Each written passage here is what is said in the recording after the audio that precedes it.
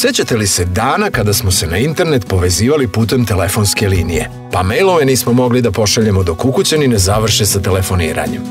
Od tada je prošlo dosta vremena, a tehnologija je napredovala toliko da nam za sve ovo ne trebaju čak ni kablovi.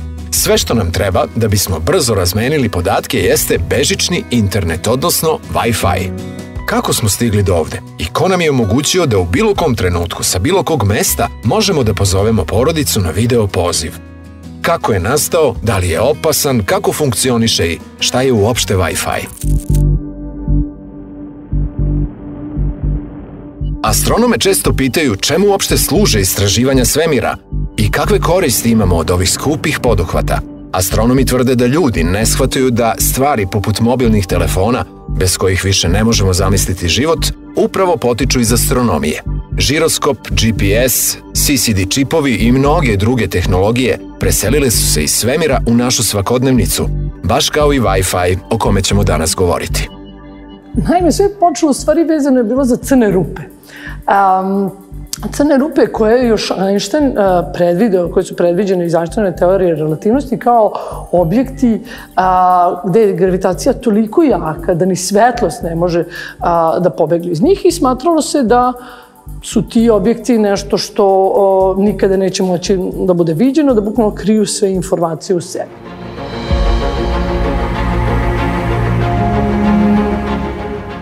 70. godina prošlog veka poznati britanski naučnik Stephen Hawking shvatio je da crne rupe možda nisu baš tako crne. On je pomislio da u blizini crnih rupa, pogotovo malih, stalno izviru, nastaju i nestaju neke čestice. Te čestice idu u paru, jedne sa pozitivnom, a druge sa negativnom energijom. I to se u prostoru stalno dešava. Ako se to izviranje čestica dogodi u blizini crne rupe, može se desiti da jedna od njih upadne i zauvek bude izgubljena, a druga da ostane bez svog parnjaka i pobegne. Na taj način crne rupe zrače, a upravo ovo danas znamo pod nazivom Hawkingovo zračenje. Samim tim što crne rupe mogu da zrače, to znači da imaju rok trajanja, da će vremenom moći da, da, da ispare, da izgube tu svoju, izgube tu svoju energiju. Naravno, to vreme koje je potrebno za to je jako, jako dugačko za tipične crne rupe koje imamo u svemiru, koje su masivne kao nekoliko masa a, sunca. Međutim, i, i, i vreme koje bi bilo potrebno za to bi bilo mnogo, mnogo duže od života sve, celog svemira. Međutim, ono što su se naučnici setili je da možda postoje mini crne rupe, mase Monteveresta, recimo, a koje bi samim tim isparile mnogo brže, isparile za životnog veka našeg, našeg svemira i one možda vode poreklo iz nekog ravnog davnog, davnog svemira. U nauci može biti mnogo lepih hipoteza koje ne vrede mnogo dok se ne provere. 80. godina naučnici su želeli da testiraju tu hipotezu. Predviđalo se da će mini crne rupe, koje su pri kraju svog zračenja, život skončati eksplozijom tokom koje treba da emituju zračenje kao vrstu svetlosti, Dok bi došlo do nas, ovo zračenje bi bilo u formi radiotalasa. Znači, radiotalasi su nam kao svetlost, jer tako, vrsta zračenja, elektromagnetnog zračenja, samo nevidljiva, sa mnogo manjom energijom i, i, i mnogo većim talasnim dužinama. E sad, ono što je bio tu problem je kad ta mini crna rupa eksplodira i emituje te radiotalase, dok taj signal dođe do nas, on dosta oslabi i dosta se razmrlja i još se razmrlja kad prolazi u, kroz atmosferu do nas. I ono što su naučnici želeli je, postavili su pitanje kako mi sada koristeći radioteleskope na zemlji, da taj signal izdvojimo te eventualno male crne rupe koje u nekoj dalekoj galaksiji eksplodira, kako mi taj signal da izdvojimo od svih drugih signala. Za traženje signala koristi se matematički metod pod nazivom brza Furijeova transformacija. Uz pomoć matematike, signale koji izgledaju kao nasumičan šum koji je razbacan na puno strana, naučnici su u mogućnosti da predstave kao sumu pravilnih signala, odnosno sinusnih talasa. Upravo na ovaj način. Astronomi vrše potragu za mini crnim rupama koje eksplodiraju putem radiotalasa, Glavni u tome koji se dosetio kako iz tog tako šumovitog nekog a, signala buke radio talasa da izdvoji tako neki fin signal je elektroinženjer John O'Sullivan, australijanac, koji je radio sa tim astronomima i koji je razvio taj metod koristići tu Fourierove transformacije, taj matematički metod, da iz te jedne buke tih signala izdvoji tako neki delikatan signal. Nažalost, taj signal eksplozije tih minicrnih grupa astronomi nikad nisu našli. Međutim, ako promotamo priču nekih a, deseta godina napred, negde 90. godina, naučnici su dobili drugi problem sada. A, kompjuteri su se razvili, bili su u svakodnevnoj upotrebi i sad postavilo se pitanje da li možemo nekako da povežemo kompjutere da oni bežično komuniciraju, da pričaju i da li mogu da nastanu te bežične mreže. Međutim, prvi put kad su naučnici to pokušali, to se isto radilo putem radio talasa. Znači, jedan računar pošle jednom drugom radio talas. Problem je bio što ti talasi se odbijaju sve i svašta, o zidove, o ormare i bukvalno se izdef, izdeformiše taj signal i uopšte nije bilo jasno kako sada taj signal koji je poslat sa jednog kompjutera, kako možete da ga pronađete, iskopati sve te buke koja se dobija. I onda su se setili da je taj problem bio rešen deseta godina ranije u pokušu potrage za ti eksplozijama tih mini crnih rupa, što su astronomi pokušavali da nađu. I ta tehnologija koju su stvari astronomi razvili, tražeći mi, eksplodirajuće mini crne rupe, je našla primjenu u tome da dozvoli bežičnu komunikaciju računarima, što je danas u stvari osnov, pošto je nakon toga postao osnov Wi-Fi, odnosno bežične tehnologije. Termin Wi-Fi je skovan po uzoru na Hi-Fi, što dolazi iz audio oblasti znači High Fidelity. Prilikom davanja naziva, ideja je bila da on znači Wireless Fidelity, te je termin ušao u upotrebu i tu i ostao. Wi-Fi je nastao i korisnicima postao dostupan 1997. godine, a potom je 1999. godine dodatno unapređen za kućnu upotrebu.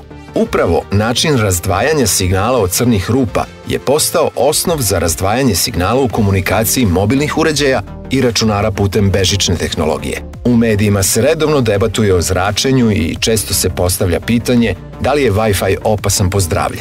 Dok jedni tvrde da postoji niz opasnosti, drugi su stava da je snaga Wi-Fi zračenja iz rutera čak nekoliko puta manja od zračenja drugih kućnih aparata. Wi-Fi a, nije opasan, Wi-Fi je sve korisno, znači radi se o o, o, o komunikaciji, znači da vi šaljete neke informacije putem radio talasa. Isto kao radio kad slušamo, bukvalno vi uzmete jedan radio talas i malo ga modifikujete, nešto njemu promenite i ta, u, u, prilikom te promene vi upisujete neke informacije u taj talas i onda ga pustite, emiter, znači transmitujete ga negde i onda ga neki receiver ga uhvati.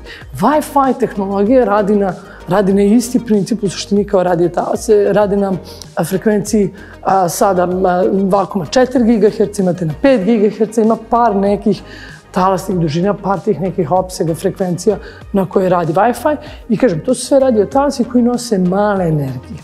Ono što je nama opasno kad pričamo o zračenju, o, o elektromagnetnom zračenju, uvek vam je problem nešto što nosi veliku energiju.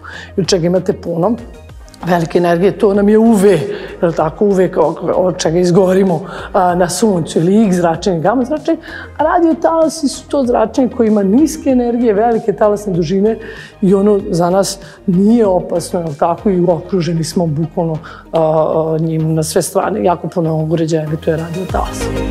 Verovatno ste primetili da za dobru Wi-Fi vezu treba biti u blizini rutera. Iz razloga što upijaju signal, zidovi su često smetnja dobroj vezi, a ako želimo da on prolazi kroz zidove, moramo imati jače rutere.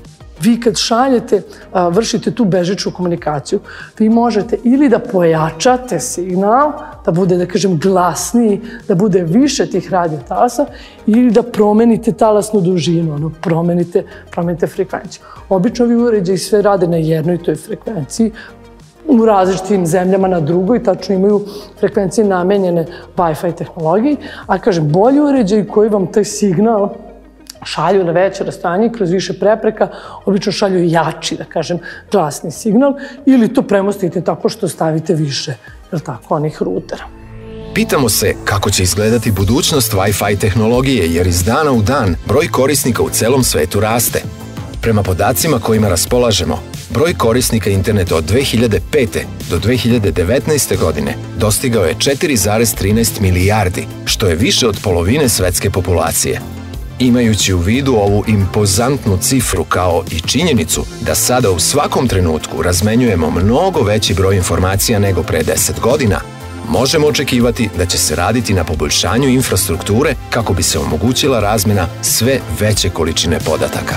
Vi se samo setite da jedna fotografija koju napravite, možda digitalna, je imala možda, ne znam, 100 kilobajta, sada ima 5 megabajta. Znači vi sada, te sve informacije koje šaljete, to su veliki paketi i šta se dešava? Vama kroz Wi-Fi, kroz bilo koji, kroz mobilnu komunikaciju, vi imate tačno jednu određenu, određenu frekvenciju, odnosno tasnu dužinu, to je recimo 2,4 GHz, mi kažemo tačno, ali nije tačno, tu postoji neka širina, je tako? I sad, što je toj opseg širi, to je kao da imate više traka kuda šaljete informacije, ali ne možete beskonačno da se širite.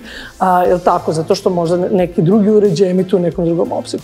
Tako da, verovatno će postati, u budućnosti će se morati otvarati novi neki kanali kroz kao nove trake kroz koje ćemo morati da razmenjujemo informacije. Jednostavno, danas toliko puno ovaj, šaljemo svake sekunde, razmenjujemo informacije, zato što su nam uređaji su nam sposobni da proizvode puno informacije, tako da stvorit će se potreba da imamo te neke možda druge opsege. Wi-Fi je postao kao vazduh ili voda toliko sve prisutan da ga uzimamo zdravo za gotovo. Očekujemo da je dostupan i osjećamo da je upravo on veza sa svim stvarima koje nas okružuju. Imajmo na umu da nam ovakva tehnologija nije pala sa neba, već su nam je omogućili najveći umovi. Svemir je zahvaljujući njima stigao na zemlju, a vi zapamtite da uvek treba da gledate prema zvezdama, a ne prema svojim stopalima. Ne samo zato što vam je to posavetovao veliki Stephen Hawking, već zato da biste razumeli ono što vidite i shvatili da nam nauka i naučne istraživanja trebaju više nego Wi-Fi i gotovo jednako koliko vazduh i voda. Do gledanja!